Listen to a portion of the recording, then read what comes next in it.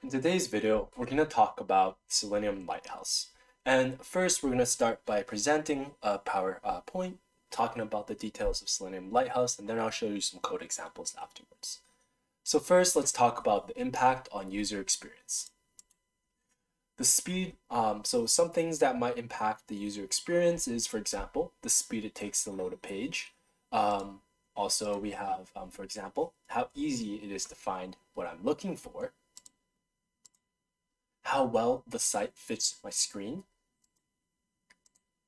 how simple the site is to use. And just so you know, these percentages, um, these are, um, this is from a survey that has been done previously, um, showing that 75% of users said that this affects their user experience. So um, we see that it's very important how fast the website loads, how easy it is to find things, and how, um, how well this uh, site fits the screen. Some other things is how attractive the site looks. Now, let's talk about Lighthouse. So Lighthouse is an open source automated tool and a part of Google Developers uh, Tools suite.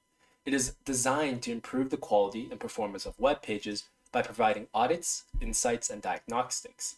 Lighthouse can be used to test web pages against a set of best practices performance metrics, and other guidelines to assess their overall quality and identify areas for improvement. The primary focus of Lighthouse is on web development, accessibility, and progressive web app compliance, best practices, and search engine optimization factors. It generates comprehensive reports with actionable recommendations to help developers optimize their website and create a better user experience for their visitors. Lighthouse performs a series of audits on a web page it simulates real-world scenarios on various devices and network conditions, and then generates a report with scores and detailed information on different aspects of the page. Some of the metrics it evaluates includes uh, page load speed, time to interactive, accessibility for users with disabilities, adherence to best practices, and PWA features like offline support and installation capabilities. It has become one of the most valuable tools for web developers and website owners who want to ensure their sites are optimized, accessible, and user-friendly. So I'm going to show you some things that you have to do in order to run Lighthouse with uh, Python and Selenium on your own local computer. So I'm going to show you some commands here, but later um, you'll see the project itself. So first thing you can do is you can install Lighthouse using npm. Um, and then um, you can use Selenium Python to run the web test and then um, execute CMD for the Lighthouse. Um, so um, how to use Lighthouse to measure authenticated pages behind login pages. So later we'll show you how to do this. Um, uh, this is how you can do it. The main thing is you have to use um, these uh, arguments. So remote debugging. So first you set up your Chrome options, you set your WebDriver, uh, and then you have to um, do some other stuff. Oh. Oh, and also, um, so yeah, so right here, what you have to do is um, you have to pass the port number to the Lighthouse um, in your command uh, right here. So for example, um, right here, we have our Selenium commands where we, um, we use Chrome options to set our port number 9222. Well, later on, you'll have to pass this port number to Lighthouse itself in your command line um, in order to run it uh, with command Selenium. But yeah, so I'll show you how this is all done in our code in a bit. All right, so if you found that a little confusing, well, let's um, let's start with our own little code example, and I think everything will make sense afterwards. So first, I'm just gonna have this project open, but I'm not gonna use anything else in this project. I'm just gonna go ahead to the test uh, folder right here, and I'm gonna create a new file.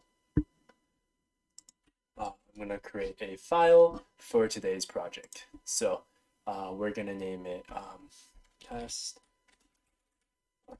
Selenium, and we'll name it Lighthouse. .py. Okay, go ahead and press enter, we create this new file. So to begin with, let's import some of the things that we need. So um, we'll begin by importing some of, uh, for example, we're importing time, OS, WebDriver, action chains, Chrome driver manager options, by service, and action. And so we'll import all of these. And then we'll go ahead and we'll write our first test. So we're going to call it test underscore one. And um, what we're going to do is we're going to, um, first let's set up the Chrome options. So we're gonna do Chrome underscore options. And what we're going to do is we're gonna, we're just gonna create instance for it. So options, and then we're gonna do, uh, set some arguments for it. So that add argument, um, and the argument I'm going to add is, um, let me show you.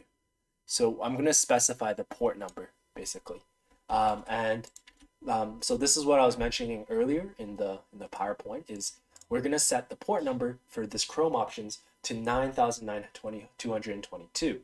Um, and so with that, what I'm going to continue to do, um, so what this does is this creates a port number where you can access it with Lighthouse.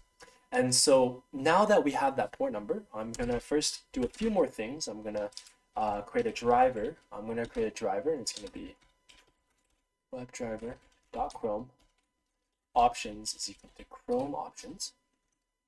And then I'm going to set a URL to equals to, this is going to be a URL that we're going to go to and visit and basically get the Lighthouse report for. So now what I'm going to do is we're going to go driver.get URL. So we go to the URL. And then what we're going to do is we're going to do time and we're just going to sleep for two seconds so that we make sure everything on the URL loads. And then now what we're going to do is we're going to run Lighthouse. And so in order to run Lighthouse, we're going to use um, we're going to use OS where we can um, uh, send commands to the command prompt using the package OS right here. And so uh, first thing we're going to do is we're going to specify the command that we're going to be using. So we're just going to make it a string. So it's just going to be Lighthouse, um, Lighthouse space. Uh, and I'm just to, so in case I don't, I don't want to mess up. So I'm just to actually copy the command over.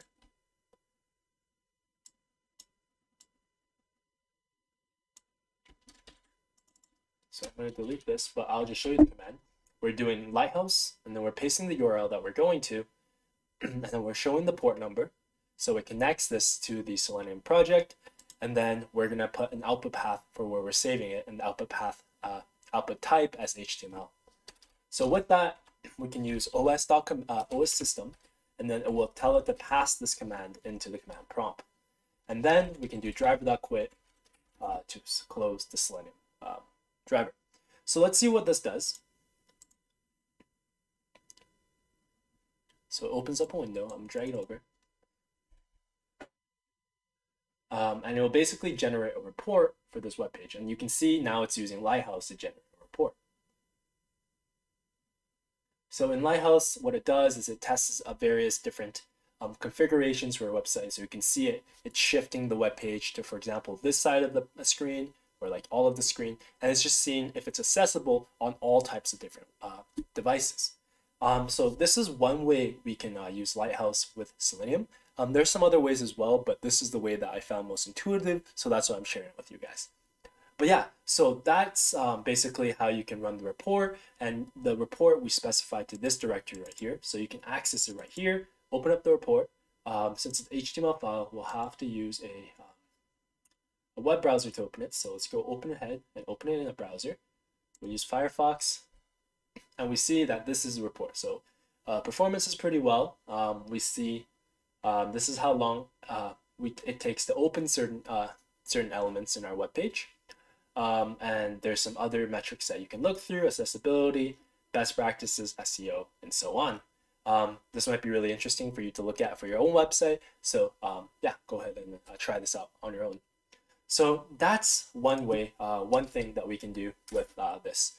Um, so another thing we can do is um, we can access authenticated pages as well. Um, and this is where um, the power of using Selenium in conjunction with Lighthouse comes in.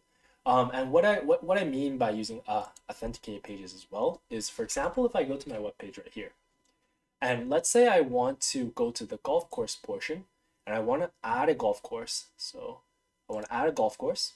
So I'll actually have to log in to this web page before I can do anything. So, um, um, and once I log in, then I can add a golf course afterwards. So we can overcome this by uh, first telling Selenium to log in first, and then after you logged in already, we pass the port over to Lighthouse, and then it can see um, whatever is behind the login page and those authenticated pages as well. So let's go ahead and run a second test. Um, and in this one, we're going to try and access an authenticated page. So again, um, since this is similar, we're just going to pass Chrome options. I'll just pass that over. It's the same thing right here. Um, and then since um, uh, we'll do some other things as well. So for example, we'll set up the WebDriver. Uh, so let me just paste this over. So we set up the WebDriver. So, you know, we uh, set up the Chrome options WebDriver. Uh, same thing as above. Well, we have the URL and we're maximizing the window and all that. Now, uh, this is where the difference comes. So let's uh, first do this. So first what we're going to do is we're going to tell the driver to go to this web page. Um, and notice that this is not the same as this link up here. And uh, what we're going to tell it to do is we're going to sleep it for, uh, we're going to sleep for two seconds again so everything loads. Um, and this time what we're going to do is we're going to specify something called clickable. Um, and basically, clickable is um, this element and it's this form. Uh, it's this button right here. And if we look at our webpage, um, and we go to golf course right here, this is the button that we have for clickable. And what we're going to tell it to do is we're going to tell it to run some action chains. And if you don't know what action chains are, it's okay. You can go and look at our other video about action chains. But we're just going to do an action chain. And then we're going to sleep for three seconds. And then what this action chain basically does is it tells the web page to click on this and then um, go to here. So after that, uh, we'll have that login page. And what we're going to tell it to do is we're going to tell the email, we're going to tell it the email is equal to, um, so the email field, uh, we're going to uh, pass it by, we're going to find the email field. So this is um, basically telling it to find this field right here. And then we're going to do another action chain. right here. And then we're going to fill in our email. And then what we're going to do um, is the password. So um, for the password, uh, we're going to paste this and we're just going to import some password right here. Um, and then what we're going to do is we're going to log in. We're going to tell it to log in. Um, so this is the login button. We're going to tell it to log in. And after it logs in, we're going to sleep for three seconds and make sure everything loads. So now uh, we can have access to authenticated pages now. And now what we do is we access, uh, we run um, Lighthouse. So again, same thing as above. We specify the command, but this time we're using Lighthouse 2 as the output file, so it doesn't overwrite the previous one. And then we're just passing the command over with the port number 9222, because that's the one we set up here as well. And then after that, we can do driver.quit. And yeah, so let me show you how this works.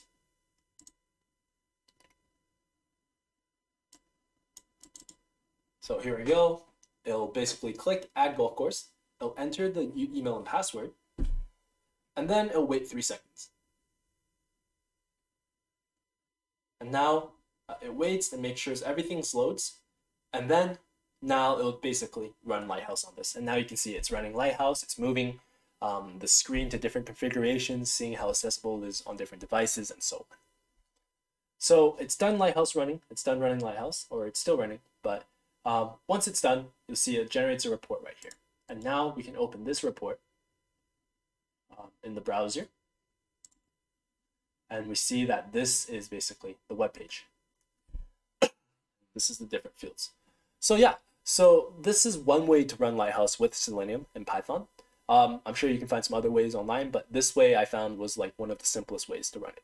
Um, if you enjoyed this video, please give this video a like and subscribe to our channel. Uh, thank you for listening, and we look forward to seeing you next time.